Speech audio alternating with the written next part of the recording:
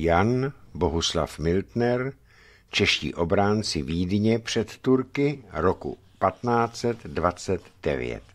Část první. Muslimské výboje na Slovensko 1526 až 1699. V následujících kapitolách budu popisovat územní expanzi Osmanské říše do oblasti Slovenska a Moravy.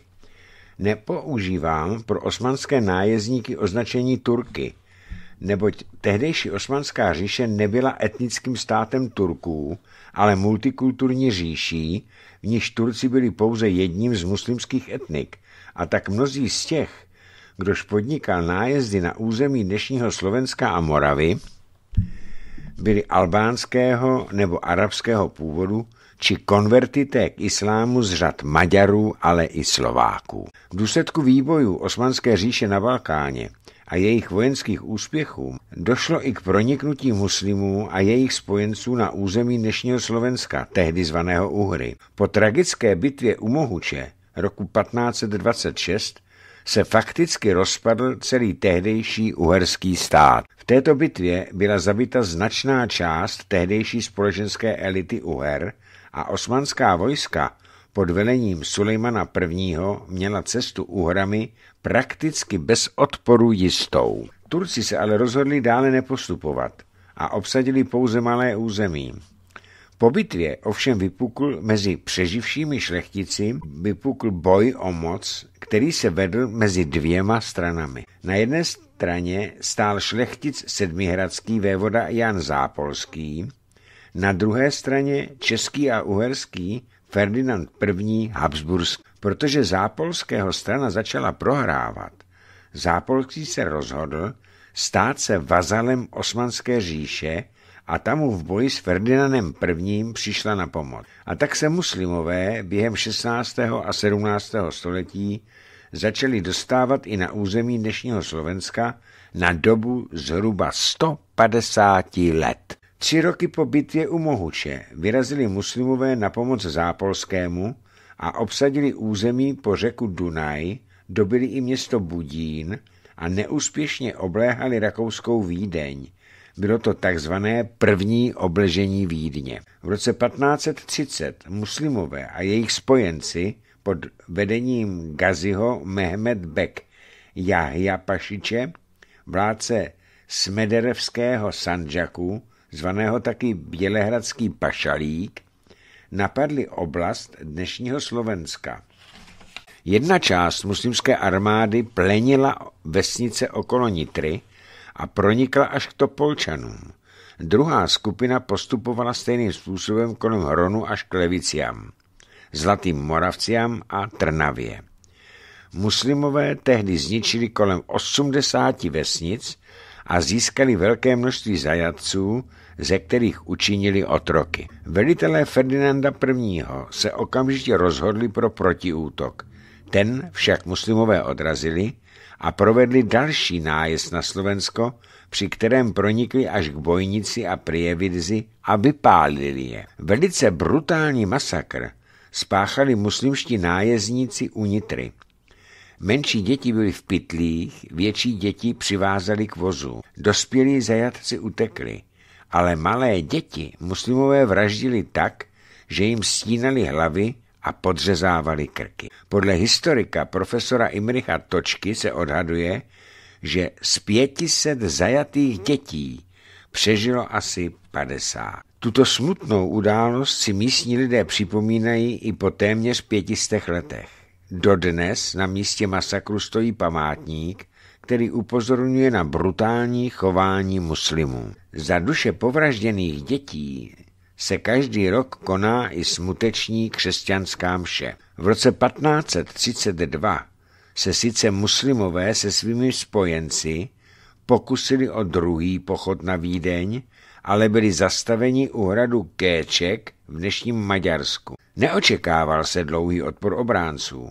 Posádka byla malá a útok nečekaný. Velitel posádky Mikuláš Jurišič ale odmítl muslimské výzvy ke, ke kapitulaci a vedl zuřivou obranu. Jurišič měl k dispozici přibližně 800 mužů, podle Vladivoje dokonce jen 700 a to navíc ve směs neskušených sedlák. Proti němu naopak útočilo odhadem až 100 tisíc muslimů a jejich spojenců. Doboví kronikáři tak považují Jurišičovu úspěšnou ohradu, obranu hradu za pravý zázrak. Muslimové se v následujících letech spokojili s pouhou podporou vojenských akcí Zápolského, jakou bylo například obsazení Košic. Síly na obou stranách byly vyrovnány. Polský král Zikmund I. starý, kterému vadila koalice s muslimy, proto přiměl Jana Zápolského uzavřít v roce 1538 takzvaný Velkovaradinský mír s Ferdinandem, Ferdinandem I. Mír ovšem nevydržel dlouho a po zápolského smrti v roce 1540 vtrhli muslimové v roce 1541 opět do Uher a pronikli znovu až na Slovensko. Porazili jednotky Ferdinanda I. a mezi Dunajem a Tisou vyhlásili takzvaný budínský pašalík, anebo se tomu říkalo budínský ejálet, se sídlem v městě Budín. Roku 1544 překročilo několik tisíc muslimů Dunaj a zahájilo postup na levice, město přepadli a vyplenili. Získali velkou kořist a odvlekli do otroctví značné množství obyvatel. Při hrdiné obraně hradu Drégely, také v dnešním Maďarsku, padl Juraj Šucha, maďarský Georgi Šondy. Na webu spirit.cz je popsán Petrem Šafránkem boj o hrad takto. V podvečer 6. července roku 1552 dorazil budínský paša Hádim Ali pod Dregelské hradby a vyzval Šondyho, aby se vzdal. Kapitán to odmítl. Turci podpálili podhradí postavené ze dveřeva a hlíny a zatlačili obránce do horního hradu. Před dalším útokem pěchoty Paša znovu vyzval Šondyho, aby se vzdal. Opět se setkal s odmítnut. Kapitán nechal přivést dva turecké zajatce a vrátil je Pašovi jako vyslance se zprávou, aby z chlapců vychoval bohatýry a aby jeho tělo po bitvě pochovali s úctou. Poslední útok trval několik hodin, protože obránci kladli hrdinský odpor a padli do posledního muže. V tomto období muslimové vyplenili a poničili mnoho pohraničních vesnic i klášter v Šahách. Roku 1552 vyslali habsburští velitelé proti muslimům jednotku o síle několika tisíc mužů. Ti byli ovšem špatně vyzbrojeni a vycvičeni. Velitelem jednotky byl Erasmus Teufel, jmenovaný přímo Ferdinandem I. Tato skupina se střetla s muslimy v oblasti dnešní obce Plášťovce. Byla muslimy poražena a její velitel byl zajat. V boji padl i biskup Zvác Sparda de Laty, který byl velitelem zásobovacích oddílů. Zajatého velitele Teufela odeslali muslimové do Istanbulu, kde byl velice brutálním způsobem popraven, protože se odmítl zříci své křesťanské víry.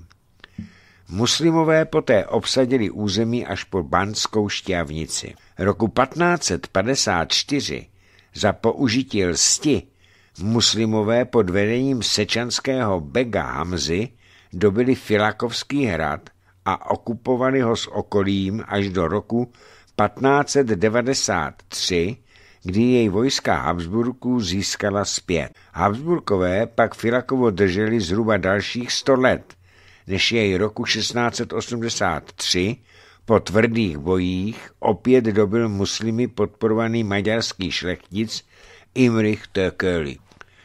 Roku 1562 zaútočil habsburský velitel Ján Balaša na muslimy obsazený hrad v Sečanech. Jeho vojsko však bylo poraženo. Bitva je považována za jednu z nejkrvavějších bitev po bitvě u Moháče. Mohuče. Po této bitvě došlo k posílení obrany před muslimy a docházelo k jen výjimečným ztrátám opěrných bodů. Muslimové například dobili hrady Hajnačku a Očuvu ale sami ztratili Rímskou sobotu a Plešivec. Pro oblast dnešního Slovenska se stal důležitým rok 1566, kdy při obléhání maďarského hradu Šigetvar zemřel osmanský vládce sultán Sulejman I. zákonodárce. Velitelem obrany byl chorvatský šlechtic Mikuláš Šubič Zrinský, který vedl s malým oddílem tvrdou obranu. Jeho vojáci raději do posledního muže padli, než by se muslimům vzdali. Muslimům se sice podařilo hrad po tvrdé obraně dobít, ale to byl již sultán dva dny po smrti. A proto muslimové ukončili další své aktivity a došlo k uzavření tzv. míru z Drinopole. Mír opět ovšem nevydržel dlouho.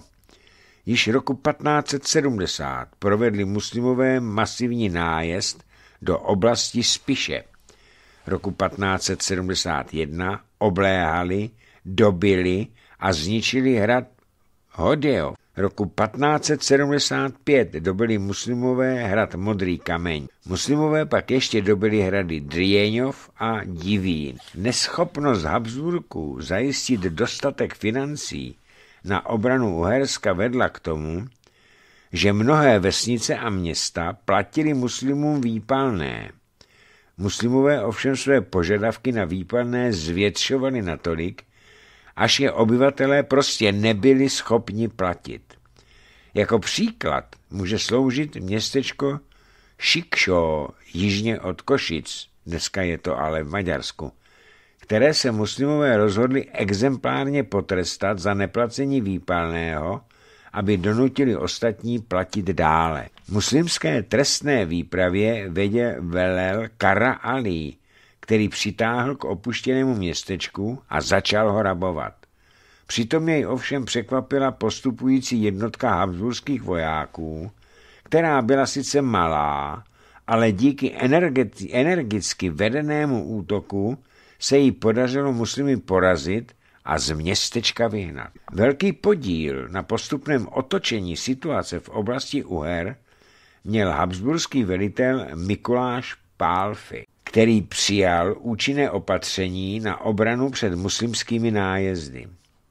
Habsburské jednotky zároveň zahájily sérii protiútoků, při které dobili Divín a velitel habsburských sil Karol Tiefenbach dobil Filakovský hrad. Habsburská vojska provedla rázný úder na muslimské ležení u Sečan a rozprášila ho. Tento vývoj situace donutil muslimy opustit své pozice v oblasti Modrý kameň, Drieňov a Hajnačka.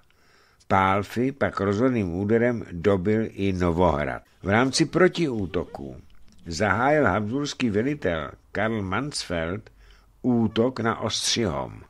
Obléhal samotný hrad a zároveň odrazil pokus několika tisícové muslimské armády o jeho vyproštění. Muslimové v Ostřihomi nakonec kapitulovali. Sérii habsburských protiútoků se podařilo muslimům zastavit až při Mezerkeretešteši, kde útočící habsburské jednotky porazili. Roku 1597 se podařilo habsburským jednotkám dobít Tatu a Ráb. V roce 1599 se území Slovenska stalo opět místem masivních nájezdů muslimů, kteří plenili a odváděli do otroctví desítky tisíc křesťanů. Roku 1605 muslimové opět získali Ostřihom. Roku 1639 muslimové dobili hrad Damast a téměř se jim podařilo obsadit i Levice. Roku 1649 opět zaútočili na hrad Drégely. Dne 26. srpna roku 1652 se odehrála větší bitva u Velkých Vokovan nedaleko Nitry. Muslimové a jejich spojenci pod vedením Kary Mustafy vedli útok údolím Nitry kolem řeky Žitavy a vypálili zhruba jedenáct vesnic, jejichž obyvatelé povraždili nebo vzali do otroctví. Velitel Habsburské pevnosti Nové zámky Adam hrabě Forgáč se rozhodl zachránit zotročené křesťany a vyrazil proti oddílům Kary Mustafy s cílem je zlikvidovat. Mezi veliteli Adama, hraběte Forgáče, byl například Zikmund, hrabě Esterházy a téměř všichni jeho muští příbuzní. Již zmíněného 26. srpna narazili vracející se jednotky Kary Mustafy na pozice křesťanů mezi obcemi Tobolky a Barcovka poblíž velkých vozokan. Během bitvy mladý šlechtic Ladislav Esterházy vedl komando přibližně 100 křesťanských jezdců.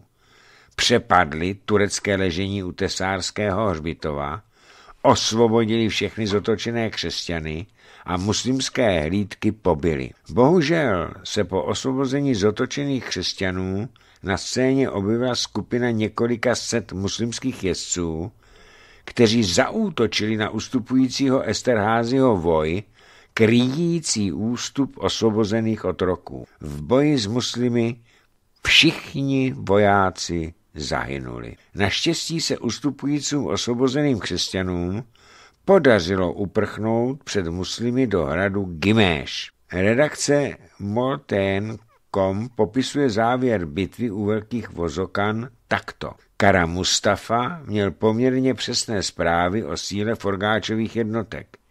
Nevěděl ovšem, že Forgáč požádal rychtáře okolních obcí o pomoc. Sedláci ze 16 obcí požitaví se včas dostavili vyzbrojeni sekerami, cepy, vidlemi a jinými zbraněmi 27. srpna v ranních hodinách potom napadli zadní voj tureckého vojska. Zároveň Forgáč zorganizoval výpad z vozové hradby. Překvapení Turci se posléze dali na útěk. Forgáč je nechal pronásledovat. Na památku vítězství nad muslimy byl v místě bitvy vstyčen několika metrový obelisk, který byl později nahrazen sochou lva, trhajícího tureckou vlajku. Teprve s porážkou muslimských vojsk během druhého oblednání, obléhání Vídně roku 1683 došlo i k útlumu muslimské hrozby pro oblast dnešního Slovenska. Osmanská říše byla postupně zatlačována zpět směrem na Balkán. Jistou zajímavostí je fakt, že velkými spojenci muslimů v této oblasti byli evangelíci, kteří dávali přednost muslimské nadvládě před nadvládou katolických Habsburg. Muslimové jim totiž na oplátku poskytovali ostrahu, ochranu a nepo, nenapadali. V oblasti Gemer je například zhruba 40 evangelických kostelů se symbolem půlměsíce na věži. Podle slovenských historiků to byl symbol, že daná obec či město byli spojencem muslimů a ti na ně nesměli zaútočit. Podle slovenského historika Zoltána Drenka byl postup mus- muslimů vůči slovenským městům a vesnicím na nichž vyváhali výpalné jasný. Nejprve dostali písemnou výzvu, když neuposlechli, dostali list, ve kterém Turci hnusně nadávali, například vy nevěřící psi, anebo hlavy vám uřežeme a na kůry nastrkáme. A to opravdu udělali s těmi, s těmi evangelíky, kteří neuposlechli ani po třetím varovacím listě. Muslimské nájezdy na Moravu v 16. a 17. století. Již před staletími měli naši předkové zkušenosti s muslimy, a to ve většině případů negativní. Už od 16. století totiž muslimové pod vlajkou Osmanské říše podnikali nájezdy na Moravu a Slovensko a přitom plenili vesnice, znásilňovali ženy a odváděli do otroctví obyvatele naší země. Byť naši předkové hovořili o nájezdnících jako o Turcích, jednalo se o kolektivní označení nájezdníků ne podle enticity, ale podle vládnoucí vrstvy Osmanů, to znamená Turků. Muslimští nájezdníci byli různého etnického původu a mnohdy se k ním přidávali i jejich křesťanskí spojenci. V případě Moravy a Slovenska šlo hlavně o protestantskou šlechtu z Uher, z dnešního Maďarska, a po tragické porážce českého a uherského krále Ludvíka Jagellenského v bitvě u Mohuše roku 1526 se začala hlavně Morava připravovat na válku s muslimy. Muslimové tehdy plenili slovenské vesnice několik kilometrů od dnešního moravského města Strážnice a Moravané očekávali jejich vpád i na Moravu. A k tomu opravdu došlo v roce 1528, kdy muslimové zahájili nový post. Roku 1529 oblehla osmanská armáda Vídeň. Moravané tehdy vyslali Vídni na pomoc vojenský oddíl tvořený zhruba 20 tisíci moravskými pěšáky a přibližně 16 jezdci, kteří ovšem nakonec do bojů nezasáhli, neboť osmanský vládce Sulejman I. po 23 dnech obléhání Vídně ukončil a muslimové se stáhli. O tři roky později muslimové podnikli nový výpad, ale habsburský vládce Ferdinand I. se na jejich útok dokázal včas připravit a schromáždil z českých a německých zemí armádu o síle 80 tisíc pěšáků a asi 16 tisíc jezdců. Muslimové se nakonec rozhodujícímu střetu vyhnuli a odtáhli zpět na území, které dokonale ovládali. Roku 1537 začala nová válka s muslimy a Moravané vyslali proti muslimské armádě jednotku pod velením Jana z Kunštátu a Jana Meziřížského. Válka ovšem skončila porážkou Habsbursků v bitvě u Osieku.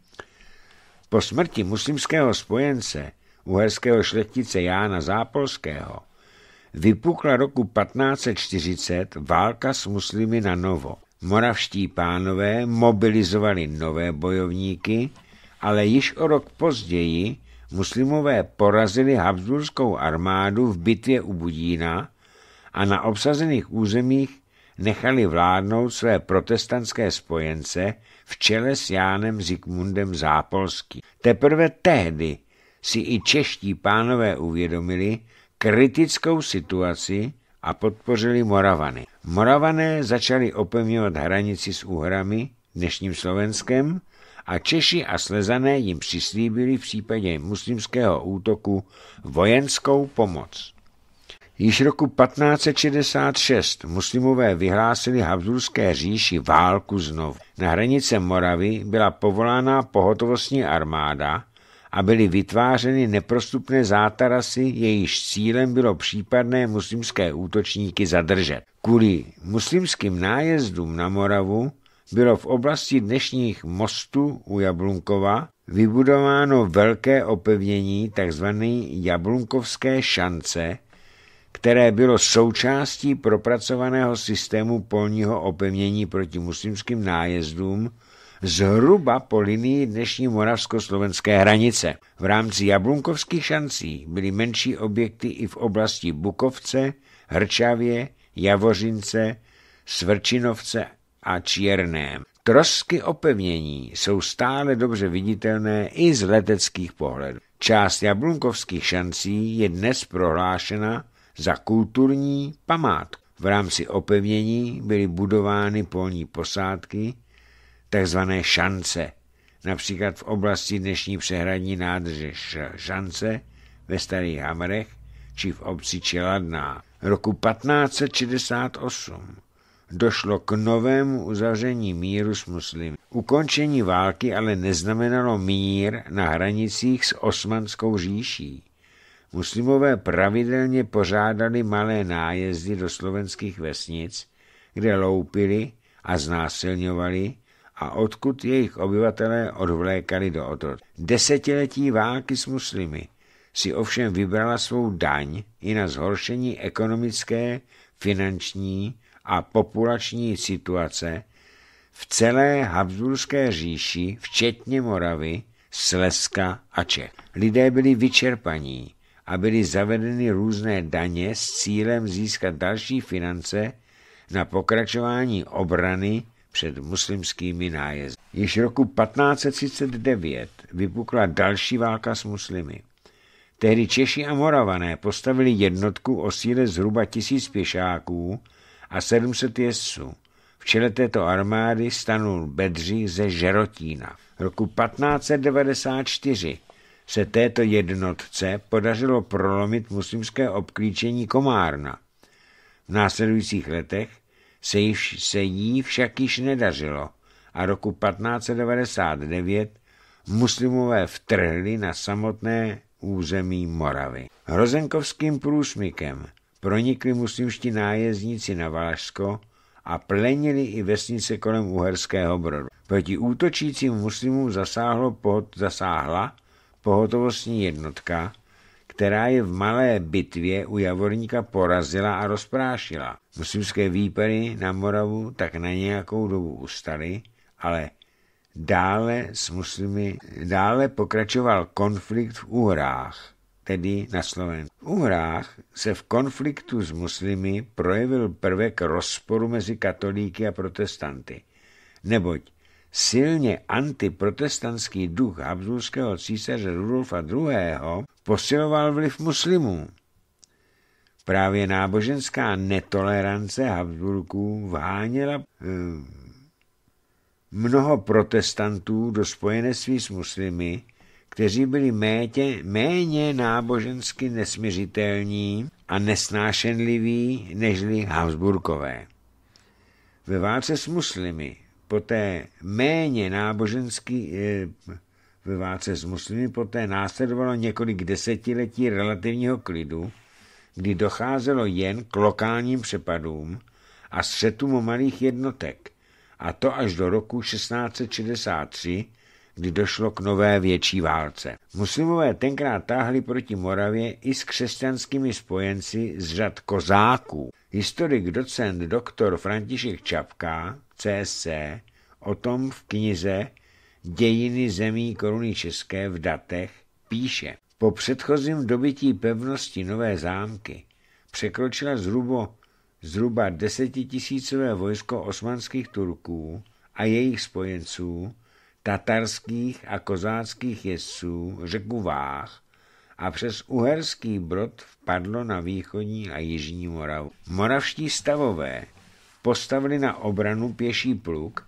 a svolali veřejnou hotovost jízdy a pěších, která se však před Tatary úplně rozprchla. Vyplněna byla řada míst v Podijí a ve středním Pomoraví, například Veselí, Strážnice, Podivín, Hustopeče, Lanžhot nebo Rajhrad. Turci pronikli až k Třebíči a Velkému Meziříčí. Císař vyslal na obranu Moravy tři tisíce jezdců, kteří se spojili s moravským vojskem, jemuž vedel, vedel velel Raduit de Suše a v Pouzdřanech se obyvatelé postavili muslimům na odpor, ale muslimové je porazili, všechny obyvatele povraždili a vesnice vypálili. Podobně se dělo i v Hustopečích, kde muslimové část města vypálili, stovku obyvatel odvlekli do otroctví či na místě povraždili jako nepoužitelné k zotročení.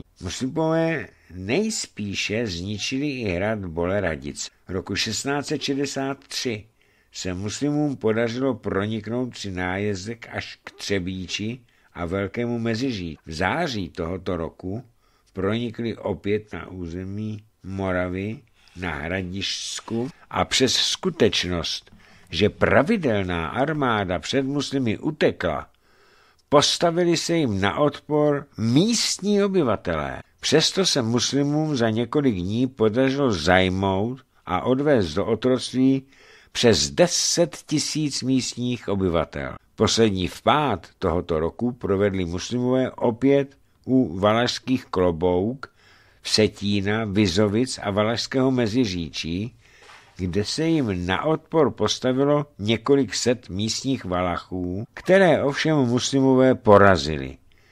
Přeživší mladší 40 roků odvlekli opět do otroctví a starší 40 roků všechny povraždili. Některé muslimské oddíly přitom pronikly až do vesnic u Olomouce. Byť v celkových střetech s muslimskými nájezdníky a obránci Moravy v té době prohrávali, Podařilo se jim také dosáhnout i malých úspěchů. Například díky promyšlené struktuře umělých rybníků a úprav na řece Moravě se jim umělým zvýšením dravosti řeky podařilo zkomplikovat přepravu muslimských nájezdníků přes řek. Na jednom převrženém voru zahynul i vysokený muslimský velitel Hussein Paša. O muslimských nájezdech na moravské vesnice a města píše například Zdeněk Valíček na webu obce Záhorovice toto. Cituji. Navíc po odchodu Švédů postihl náš kraj i mor. 4. září 1663 vpadli na území světlovského panství třemi proudy Turci a celé okolí vydrancovali. Tehdy bylo v obci zabito osm osob celá obec vypálena, odvlečeno 15 kusů hovězího dobytka, 300 ovcí a celá úroda na polích byla spálena. V pád opakovali 19. září, kdy vzali do zajetí několik tisíc lidí. Nejhorší vpád byl 6. a 7. října. Od hradu Světlova byli odraženi, ale vypálili v podhradí obce Bzovou, Krhov, Záhorovice, Komňu, Hostětín, Vasilský dvůr, Pitín a Rudimov. Vesnice byly vyplněny a vypáleny, úroda na polích zcela zničena a většina obyvatel těchto obcí byla zavražděna nebo odlečena do zajetí. Uhersko-brodský kronikář píše o tomto tatarském vpádu toto. Ta zběř turecká a tatarská a domoravy se vtlačila, mordovala, pálila, a lid zajímala. Nebylo nic viděti, než toliko ohně, mordování a zajímání. Ani v lesích nikdo jistý před nimi nebyl. Vše, co bylo přes 40 let, mordovali, mladé ženské, k sobě na koně brali a dítky jako měch ovesný přes koně pryč odnášeli. Při ústupu před sebou stáda dobytka a lid hnali. V roce 1683 opět zaútočili Turci a krajina byla znovu spustošena. Obdobně popisuje vpády i administrátor webu Eluhačovice CZ. Ještě se země nevzpamatovala z následku třicetileté války a již přichází nová pohroma. Tataři, spojenci Turků, vpadli roku 1663 až na Luhačovicko, vypálili několik vesnic, mnoho obyvatel pobili nebo odvlekli do otroctví. V Luhačovicích tedy přišlo o život 42 lidí. V osadě Podhradí u Pozlovic dodnes stojí na Máčalově humě pomníček na paměť Kateřiny Svarové, ubité Tatary. Jen uherský brod a pevné hrady Brumov a Nový Světlov se tehdy ubránili. V roce 1663 muslimové zasadili Moravanům vážnou ránu. Desítky tisíc mužů a žen v produktivním věku odvlekli do otroctví a další tisíce povraždili. Byly vypáleny a zničeny až stovky vesnic a měst. Například v obci Lačnov vypálili muslimové půl vesnice a 93 osob zabili nebo odvlekli do otroctví. Mezi obyvateli Lačnova dosud koluje legenda o chlapci, který se před muslimskými nájezdníky utíkal schovat na takzvané horní skály. Mezi skalními stěnami proběhl až na vrchol a skála se náhle zavřela.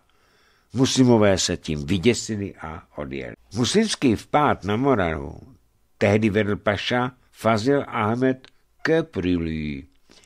Ten měl snadnou práci, protože hranice Moravy a dnešního Slovenska, tedy Uhry, nebyla nijak dobře bráněná ani opevněná. Naopak, jak píše Michal Trávníček ve zlínské mutaci webu idnes.cz, turecko-tatarská vojska na nic nečekala a už 3. září, vedená celou řadou místních zrádců a vyzvědačů, vpadla na Moravu a vyplenila ji až k Brnu. Historik F. V. Peřinka o muslimském vpádu na Moravu napsal toto. Byl to loupeživý vpád, jemuž rovného nepoznají dějiny naší vlasti. Žádná řádně organizovaná armáda nepohybovala se tak rychle, jako tito moslemíni, kteří ve dnech 4. až 6. září proletěli, zapálili a plenili skoro celou zemi od průsmyků v Bílých Karpatech až do Jihlavského kraje. Ohrady a hrazená města, kde narazili na odpor a nebo jej očekávali, ani se řádně nepokusili, protože nedopravovali sebou ani těžkých kusů, ani obléhacích nástrojů. Když vraceli se po třech dnech pod novozámeckou pevnost, každý Tatar vedl dva, tři i čtyři zajaté, ve směs statné moravské muže, uvázané na obojcích za krk jako psy. Historik Jan Toman článku Znojmo v tureckém ohrožení cituje evangelického kněze Štefana Pilárika.